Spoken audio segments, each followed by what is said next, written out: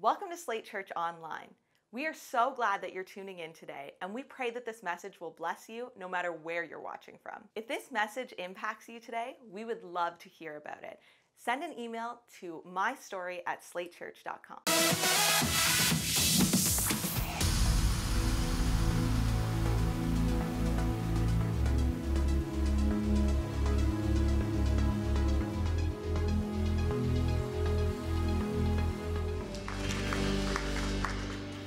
You guys can go ahead and grab your seats, and why don't you turn to your neighbor and say, Are you ready? Why don't you turn to your other neighbor and say, I'm ready? All right, we got like three people ready. We're good. Um, but seriously, I'm ready this morning. Because I'll be honest with you guys, it's been a little bit of a tough week for me. Uh, it's just been a week where I've faced a bit of frustration, uh, just feeling a little bit defeated in some areas of life. And, and, to be completely honest with you guys, the message that I've prepared for today is really what I feel the Holy Spirit has been putting on my heart this week. I think it's the message that He's been giving to me, what He's been downloading in me. It's been working in me. He's been doing something inside of me this week. And I firmly believe that He wants to do something in you too. You know, I really believe that we need to be ready because the Holy Spirit is ready to actually pour something out to us today to help us leave this place not the same way that we came in, but to actually leave this place changed, to leave this place with new encouragement, with new hope, with new conviction. So, are you ready? Yes. All right, we're, we'll get there. I want to jump right into scripture. So if you have your Bible, whether it's on a phone or, or physical forms, I'm getting texts, uh, more texts. Uh, John chapter 4. Probably should have put this on silent. Uh, John chapter 4 is where we're going to be reading out of today. But before I get there, I actually want to introduce myself. As Pastor Luke said, my name's Nate, and my wife Emily and I, we lead our family ministries here at Slate Church. And it's such an honor and a privilege to be able to pour into and invest in the next generation. You know, we really believe here that we're building a church that we don't want to end with us. We're not building a church that's just for today or for this generation or for the people in this room, but we want to build a church that's for generation after generation after generation after generation. And it's really a privilege that we get to be a part of that through our family ministries here. And we get to do all of this under the leadership of our incredible lead pastors, Luke and Victoria Becker and Brandon and Emma Richardson. And it's so important that we as a church honor them. You know, I, I, think that sometimes in our society, people get kind of weird about honor, like, oh, like, why are you lifting that person up? Ah, ah, whatever. And I think my favorite example of honor in the Bible is when David is being pursued by Saul. And you might not know who these people are. If you don't, it's fine. Just know that David was going to be king. Saul currently was king, and Saul was trying to kill David because he knew that David was one day going to be king. And Saul's chasing David down, and a couple times David has opportunities to actually kill Saul.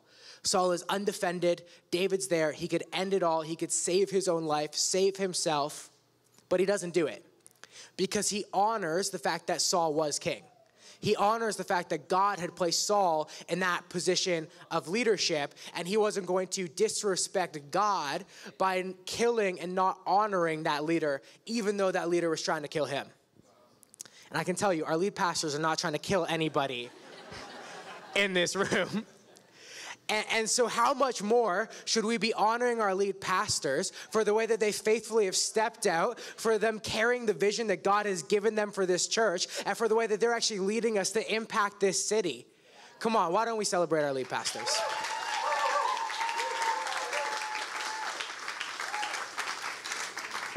All right, I want to jump into John chapter 4, verses 1 to 7. It says this Now, Jesus learned that the Pharisees, if you don't know, the Pharisees were religious leaders of the day.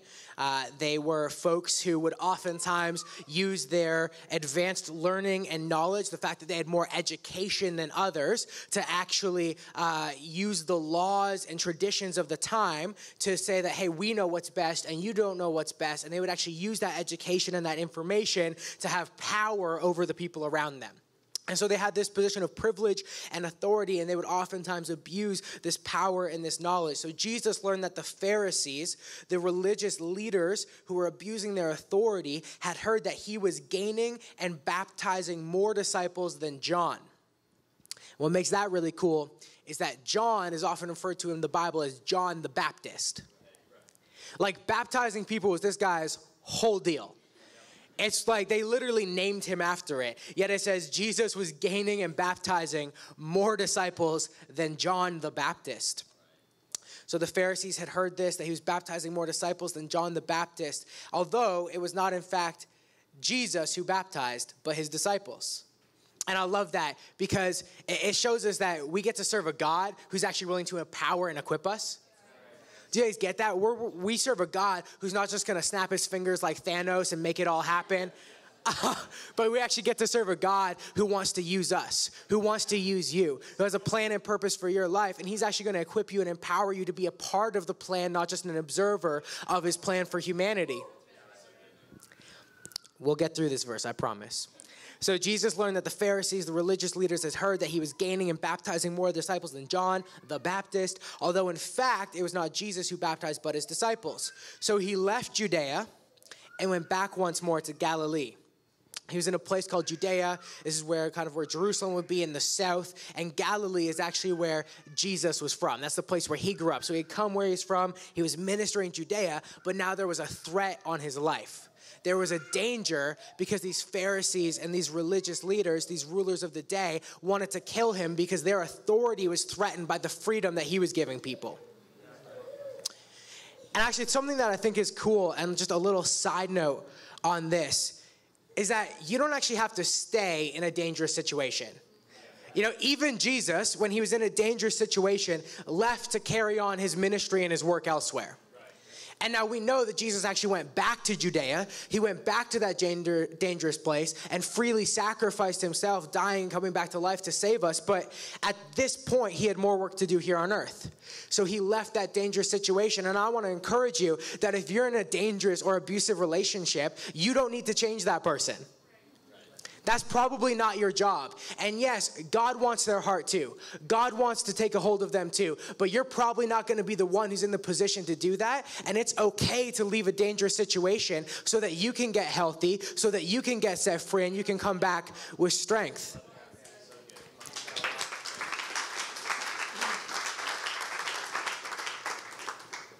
So Jesus, he's leaving Judea and he's going back to Galilee.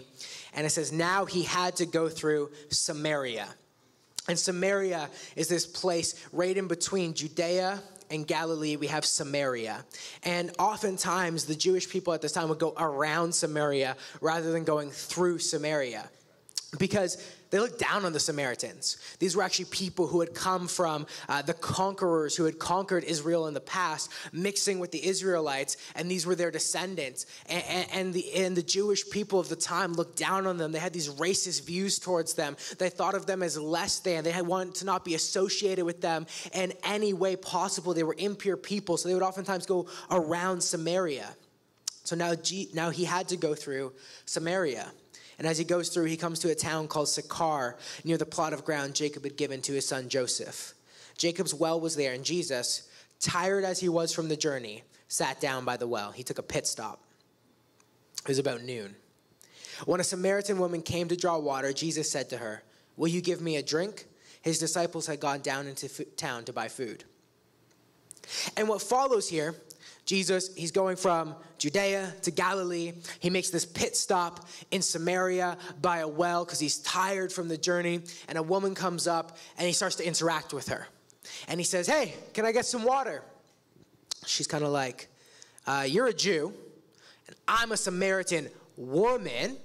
So why are you even talking to me? That was totally unheard of at this time. And Jesus is kind of like, Do you even know who you're talking to? She's kind of like, um, nope. I just wanted some water, and now you're talking to me. and he's like, what if I could hook you up with some living water? She's like, um, okay. She's like, uh, what, what is this living water? And she's kind of like, I'm the living water. And I feel at that point she had to like shuffle back a little bit. Like she was kind of moving. She's like, okay, all right, all right, weird flex, but okay. And uh, Jesus is like, I'm living water. And then they start going into this conversation and so they, they start debating about uh, where people should worship and practice and which temple's the right temple, these, all these different things. They're going back and forth. And she gets to this point in the conversation. She's like, Well, the Savior, the Messiah, the one who's gonna come, I know there's one coming. And when he comes, he can settle this debate for us. And then I love this moment because Jesus just like total baller move. It's just like, I am he. reveals himself to the woman, shows himself and identifies himself as the Savior who is coming to actually make that change, to save people, to settle the debates. And it's cool because then he starts to go through and actually highlight some of the woman's past.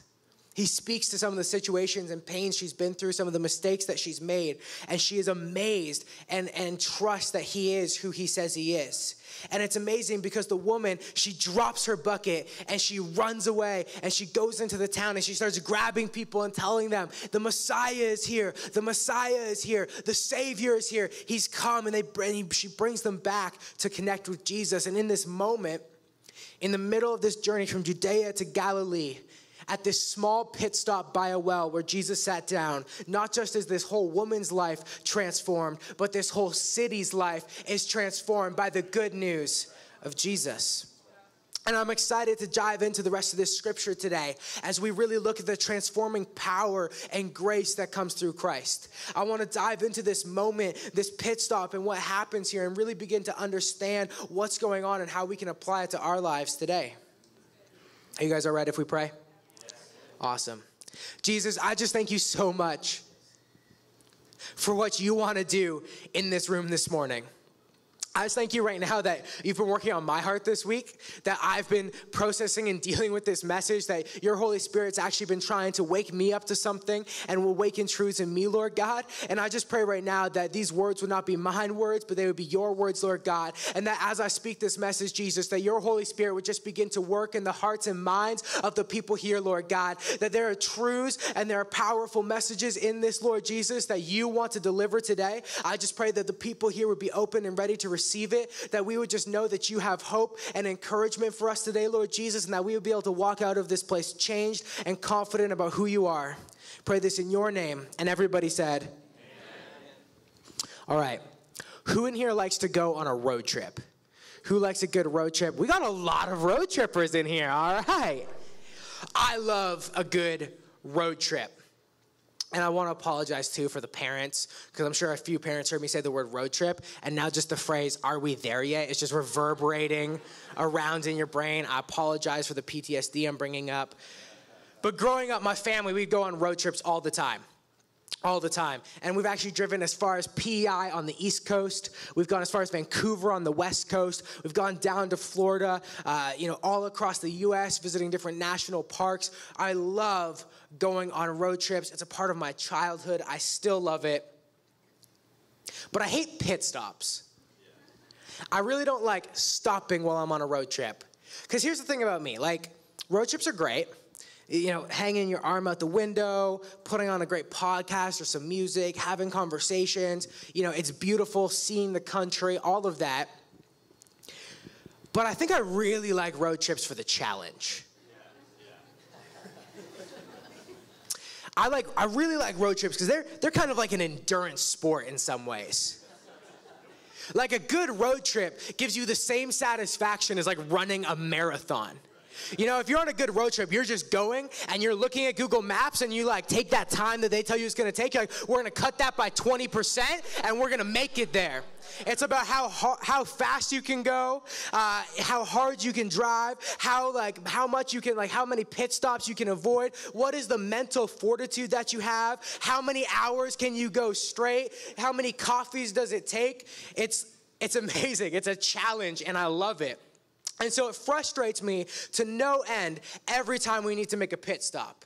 Every time we need to slow down, take a pre break, a food break, a gas stop, it just like kills me inside a little bit. Is why I love Tim Hortons. I feel like people are kind of beating up on Tim Hortons a lot lately, uh, but I love Tim Hortons because you go through that drive through, you get your food, keeps you sustained, you get your coffee, help you drive through the night, and in a couple hours, you don't have to stop for a bathroom break, you already have something to go there. That's gross. One drive that I always loved was when I lived in Ottawa. I was living there, and Emily and I were dating, and I would drive back to visit her uh, fairly often. And I was always so excited to see her. It would have been weeks at a time before I had seen her. And I would drive as fast as I possibly could from Ottawa. I'd whip down the 401 to get back and visit her. And when you're trying to do a road trip right and you're on the 401 in Ontario, you need to make sure that you only stop at the on routes. Does anybody else know what I'm talking about? You only need to stop at the on routes because the on routes, they're right on the highway. They have everything you need. They have the food, they have the bathroom, they have the gas. They're right on the highway. You're quick, you're in and out, you're back on the road. See, what you don't want to do is you don't want to pull off in like a city, especially in the GTA. You do not want to pull off in a city because as soon as you get out there, you're like pulling up, you're like, which way's the gas station? Tim Hortons is that way, gas is that way. It's gonna be a much longer trip, slowing you down. You don't wanna do that. You always wanna make sure you hit the en routes. And that presents a challenge for me. Because driving back from Ottawa, there's an en route in Newcastle, Ontario. And the next en route is 187 kilometers away on the other side of the GTA in Cambridge, Ontario. And this 187 kilometers always presented me a challenge. Because you never want to stop in Toronto. It's the worst place to stop. And without fail, every time I would be in the middle of Toronto, right in like some heavy traffic, and I would like start to feel like I gotta pee a little bit. Not like I gotta go, but like I could. And I'm like, all right, you know, we're fine, we're gonna be good you know, stop and go traffic, we'll make it. And, you know, I start going and I'm going and, you know, we start to get out of the GTA. I hit Milton, Ontario. And at this point, I have to go. I definitely have to go. But see, Milton, Ontario has a sign that says 20 kilometers to the Cambridge en route. And that sign was just like a beacon of hope for me in the darkest night. I would just see that sign drive, I'm like, I can make it. I can make it. And so I'm like going, I'm pushing, starting to like, you know, move a little more put like turn the music up a little bit, distract myself. Heading from Milton, I'm starting to really hit the gas right now. I'm flying. And for some reason, every time I would get to the Cambridge en route, my opportunity to pull off and do what I needed to do, and I would be like, well, I'm only like 20 minutes from Emily's place at this point. I think I can make it. And so I would just hit the gas, I'd floor it past the en route, and at this point I hit the 85 coming into Waterloo, and I, I, like you pull up beside me, I look like I'm possessed with something. I'm just like moving and dancing, my foot up's on the dash for some reason. I don't know how that helps. I was like smacking the glass, like somebody pray for me, please. And I would whip up, I'd pull up in front of Emily's place, and the worst part is I was driving so fast, I was trying to get there because I wanted to see her. Yeah, she would come down the stairs, she's like, babe, I love you you. She'd like open up her arms to give me a hug. I'd be like, out of my way, I need to use the washroom. I don't really like pit stops.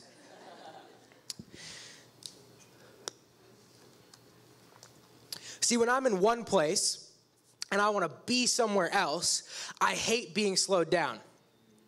I hate it when things get in my way. I can't stand being stopped, distracted, or held up by obstacles. I think so often in life we find ourselves in one place and we're desperate to be somewhere else. We find ourselves looking ahead at our hopes and aspirations, and we get so frustrated when barriers and obstacles pop up between us, uh, between where we are and where we want to be.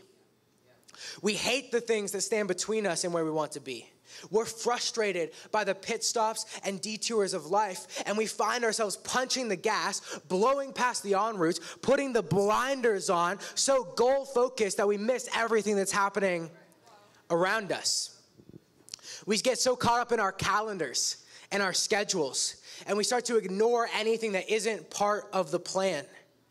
You know, even with something good like marriage, you know, we get focused on this goal. I need to find a spouse. And we get so focused on it that we start missing the opportunities that are all around us in this season because we feel like we can't move forward or actually progress until we've achieved that goal. And my hope with this message today is that we would lift our heads up. You know, that we would begin to take the blinders off. And that when we're here, and we have a goal over there, we could actually recognize that there's a lot of beauty between. There's a lot of opportunity between where we're going and where we are today. And if we get so goal focused, if we get so narrowly focused on what we can see as the target ahead of us, we're going to miss opportunities that God is placing in our lives. We're going to clap, we're going to clap.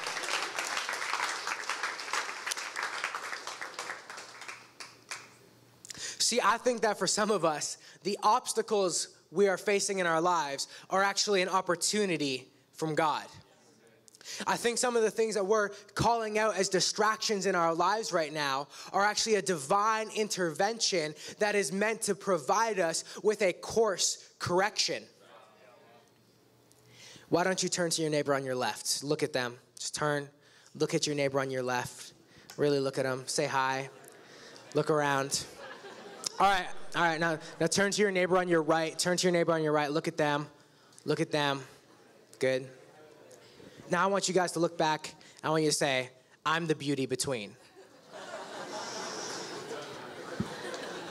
See, you guys are less arrogant than the 9 a.m. The 9 a.m. just said it. They owned it. They're like, yep, I am the beauty between. You guys are like, whoa, whoa, whoa, whoa. What's going on here? If you're taking notes, you can title this message, The Beauty Between. And I want us to dive back into this scripture, this story of Jesus encountering the woman at the well, and look at the ways that each character in this story finds the beauty between. Jesus finds the beauty between Judea and Galilee.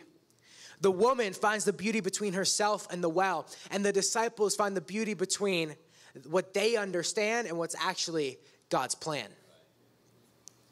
Let's start with the beauty between Judea and Galilee. So, to recap, Jesus is, Jesus is in Judea. The religious leaders want to kill him. He's heading over to Galilee, and he decides to make a pit stop in a place called Samaria. And what's interesting about this is that Christ's ministry on earth was to the Jews first.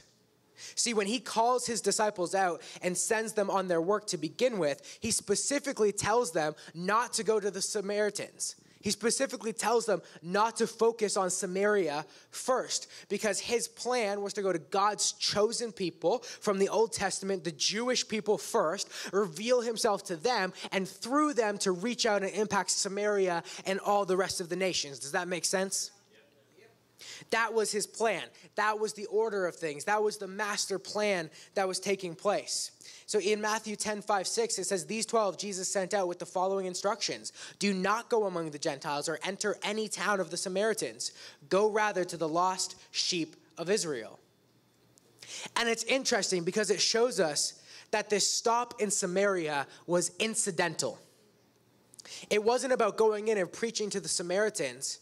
It actually says, so he left Judea, went one, back once more to Galilee. Now he had to go through Samaria. Samaria was a means to an end. It was in between Judea and Galilee, the places Christ intended to be, and the places that he was actually starting his ministry here on earth. But I want you to know this morning that Jesus is never in the wrong place. Even in between, he's still working, he's still transforming lives. See, this encounter was incidental, it was not accidental.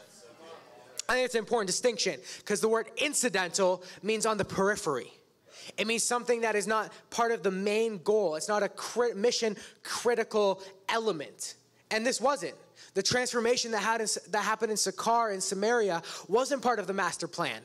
It wasn't part of the bigger picture in the same way that the ministry in Judea and Galilee were at the time, but it was no accident either. It may have been incidental, but it was not accidental because even in the in between, even when it looks like He isn't there, even in, when it doesn't fit perfectly with all of the plans for our life, God is still working, He's still showing up, and He's still ready to make an impact. There is beauty between where we are and where we want to go. Our God is a God of the in between. He's a God that shows up in the moments we least expect. He's a God that is actually going to interrupt our plans and our priorities and invite us to be a part of making the world around us a better place. There was a time, and I won't say when this was or, or where I was for privacy reasons, but there was a time I was working at a job and I had a big opportunity come up. A really big chance to prove myself, to show myself, to, to advance myself, an opportunity that would have hopefully led to other opportunities. And, and I was invested in this a lot. And honestly, I, I really believe that, you know, if I could just pull this off, I could have even more influence in my workplace. You know, that would be great. I could impact more people. This is so important. I was so invested in crushing this opportunity. And it was a, just under an hour before this, this thing was supposed to take place. And one of my colleagues messaged me and said, Hey, like, could you talk for a minute? And I remember I was kind of like, all right. Um, I was like, hey, like, uh, you know, is there something you really want to talk about now, or could we talk this afternoon? My colleague was like, oh man, I'd really love to talk right now. It's like, all right, cool cool, cool. I'm not stressed or anything. This is fine. This is a great moment for me. And I honestly, I was a little bitter. I was a little frustrated that, that this was inconveniencing me, inconveniencing me as I was preparing for this opportunity. But my colleague came to me and they started to open up. They started to tell me about the mental health issues they were going through and the fact that they hadn't been able to tell anybody else about it. And I was able to share my own journey with mental health and how Jesus helped me through that with my colleague in this moment. And, and I felt like God just so clearly said to me, This is why you're here. You're not here for a promotion, you're here for the people.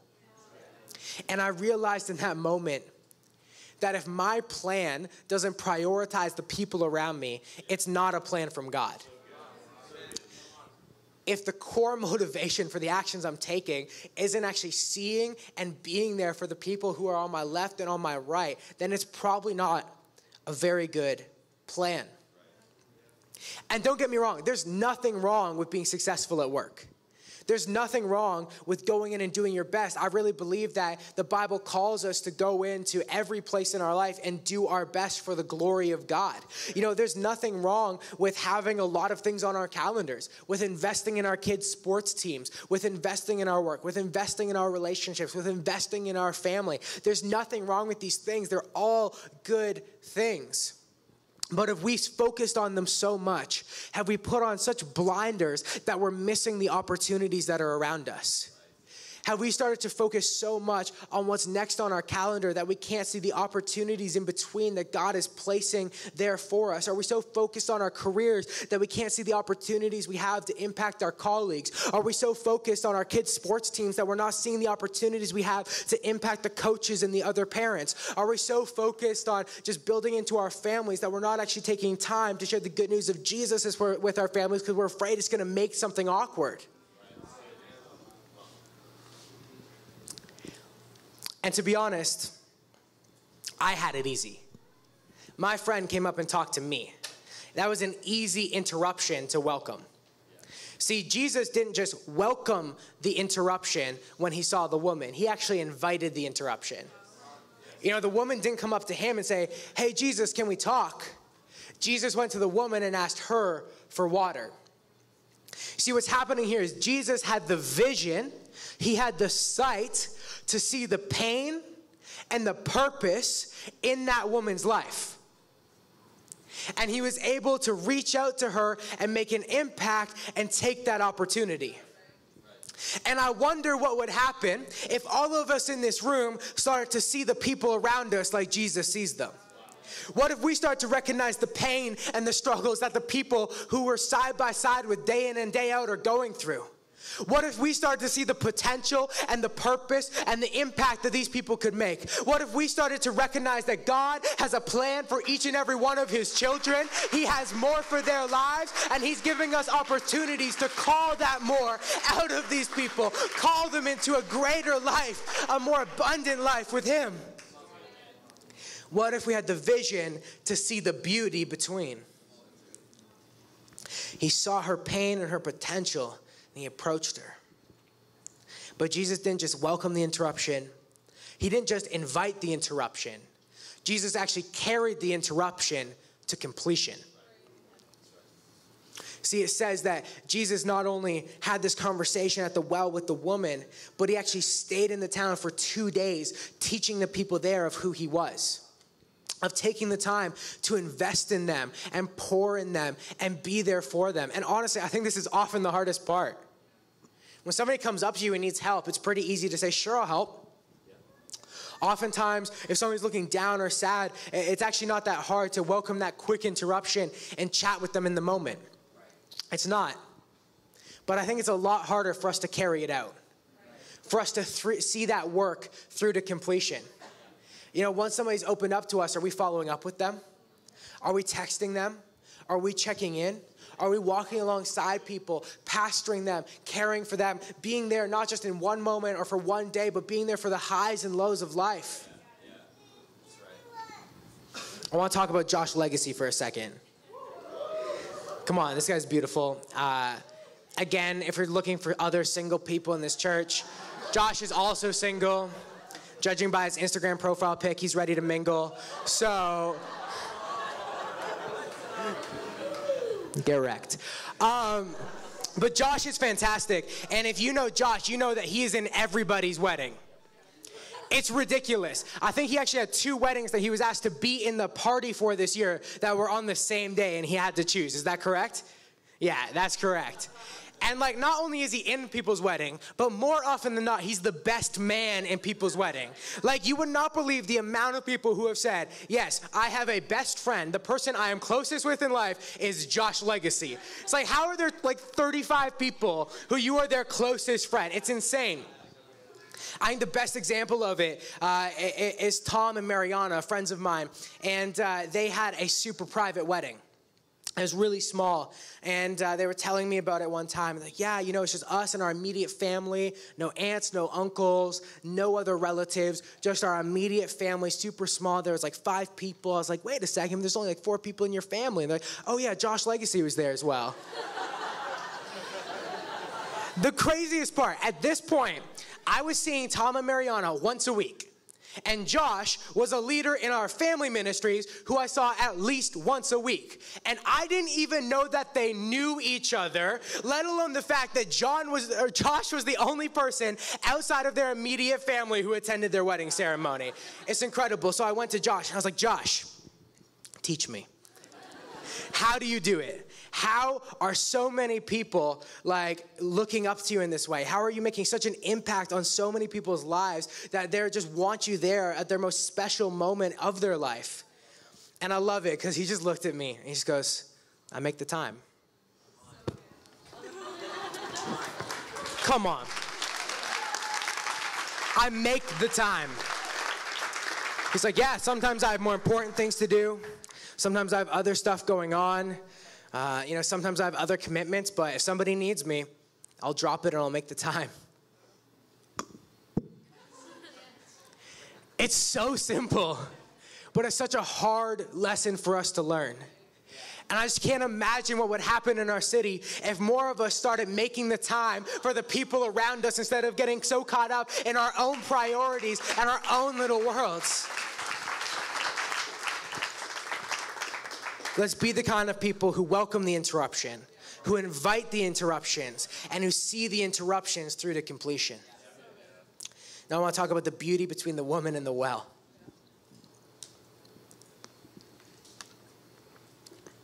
This woman approaches the well and is interrupted. See, she's on her way to get water, and she's stopped by a strange man who's standing between her and the thing she needs to survive. I think some of us in this room might feel a little hopeless. You know, maybe your life recently has felt kind of like this woman's may have, living just to survive. You know, it, we read later in the passage that she was struggling with relationships, having five husbands uh, in, in a short period of time. We see that, you know, her finances probably weren't that great if she was going to get this water herself. And I think for some of us, it feels like our life is going from defeat to defeat to defeat to defeat. And that's the in between that we're caught in, caught in between failure after failure. We feel hopeless. And we start searching for wells and waters that will satisfy our desires. You know, we know that something's missing. There's a longing in our hearts. And so we start looking for the wells and waters that are going to satisfy us. You know, maybe we start looking in this relationship or this friendship, or if I could just get this leader's approval, maybe I'll feel good about myself. You know, we start looking at things online that we shouldn't be looking at, thinking that maybe that's going to satisfy us. We start looking at the bottom of a bottle, thinking that there might be something down there that's going to quench the thirst that we're experiencing. We're like this woman going back to the well over and over and over and over again, but never being fully satisfied. But this day, she was interrupted. There was a barrier between her and the well. I think some of us, we keep going back to these same wells and we're seeing obstacles between us and what we think we need. We're seeing barriers between us, and it's like, well, I just need to get that water. So if you could get out of my way, that'd be great. And I want to challenge you this morning that maybe the barrier between you and the well that you've been going to for a long time is actually an opportunity for redirection. Maybe the, what looks to you to be a barrier is actually an opportunity for God to make a shift and a change in your life. Because there is something greater than that well. There is something greater than the thing you keep going back to. There is a living water. There is a hope in Jesus. There is a salvation through Christ.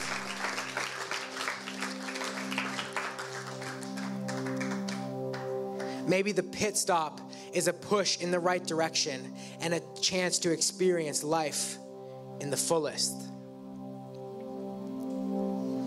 I want to talk about the beauty between the disciples' understanding and the truth.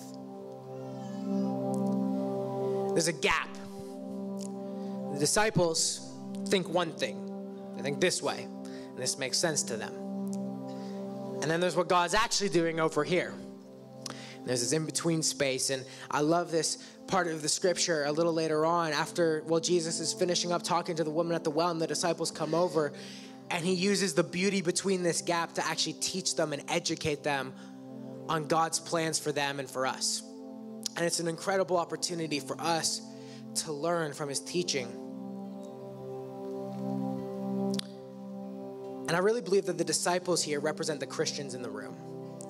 They represent us who believe in Jesus, and maybe we have for a while, but we just don't get it. You know, we look around and we totally miss the mark. See, the disciples see the world one way and totally miss the reality of the mission God has called them to. In John 4 27 to 38, it says, Just then his disciples returned and were surprised to find him talking with a woman. But no one asked, What do you want? Or why are you talking with her? Good call, boys. If this doesn't rep- represent Christians, I don't really know what does. How often do we look around at the person who had a divorce and is now serving in church and we're like, why is she here? We look at the people who come through the doors in the lobby and you're like, oh, you know what?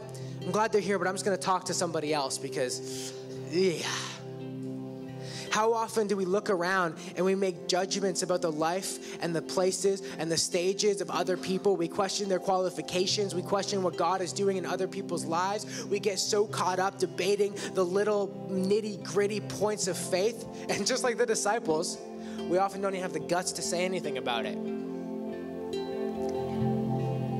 Says this Then leaving her water jar, the woman went back to the town and said to the people, Come see a man who told me everything I ever did. Could this be the Messiah? They came out of the town and made their way toward him. I love that while the disciples are standing around wondering why Jesus is talking to a woman, oh no, as the disciples are obsessing over the little rules and traditions, pondering, if, pondering whether or not it's even appropriate for this conversation to happen, the woman drops her bucket by the well and runs out to the people and starts doing the disciples' job for them. Come on, while the disciples are sitting around debating whether the worship is too loud or too quiet, while they're debating whether we should have a fog machine in church or not, while they're sitting and standing around debating whether they should keep that person in their connect group because they just don't really like their vibe, while they're sitting around and debating all the little nitty gritty pieces of theology and things that they think are so important the woman at the well is running out and she is making disciples. She is reaching people. She is sharing the good news. She's bringing them back home to Jesus.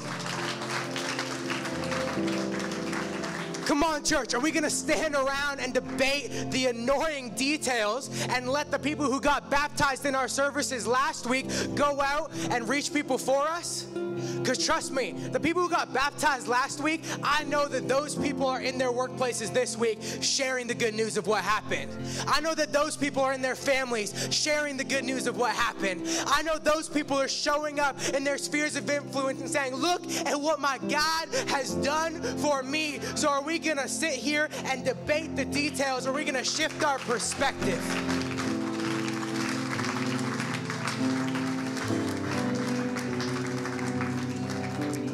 And I love this.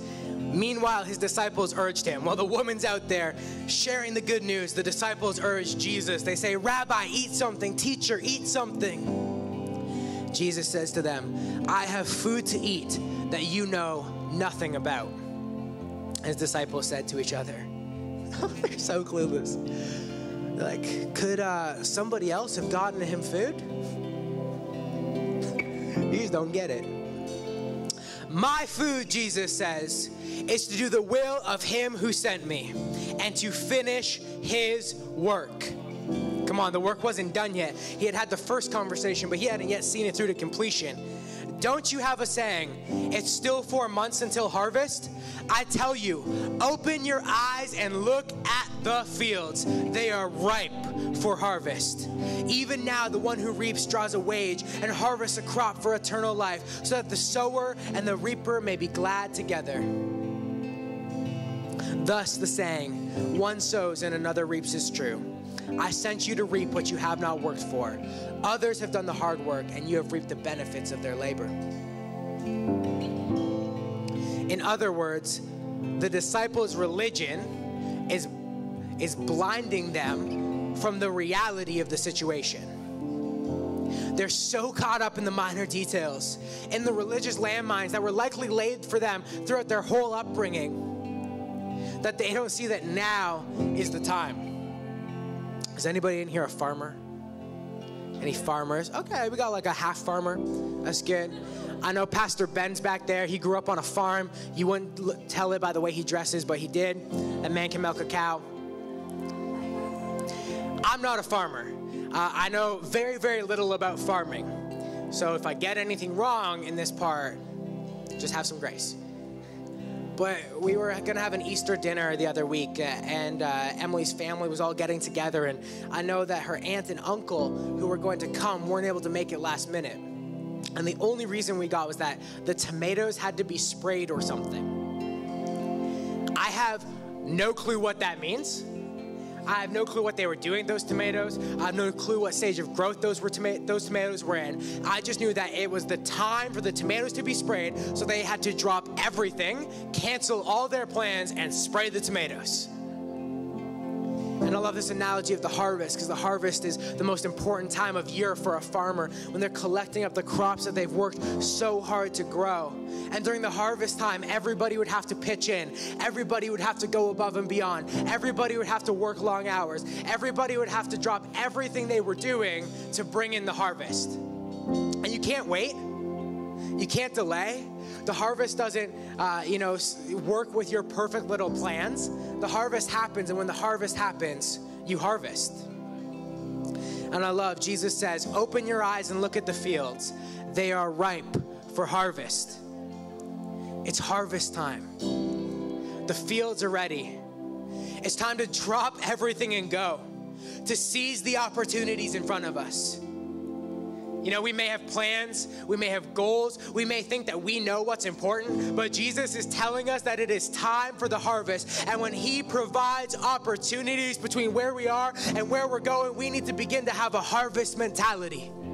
We need to begin to have the mindset that, mindset that when we see the opportunities, when we see that off ramp to make a difference in somebody's life, we're pulling off. We're whipping on that steering wheel. We're taking that time to invest in the people around us, even if it's inconvenient, even if it goes against our plans. When it's the harvest time, we harvest. When the crops are ready, we go out. We don't delay. We don't wait. We throw everything aside. And let me tell you, church, the time is now. It's harvest time in Kitchener Waterloo. It's harvest time in your workplace. It's harvest time in our schools. It's harvest time in your families. Let's go and let's begin to reap. Thanks so much for watching. If you were impacted by the message today, you can send us an email at mystory at slatechurch.com. And if you'd like to learn more, you can fill out one of our online Connect cards. We would love to see you at one of our Sunday services. And make sure to stay connected by following us on any of our social media, including Twitter, Facebook, and Instagram.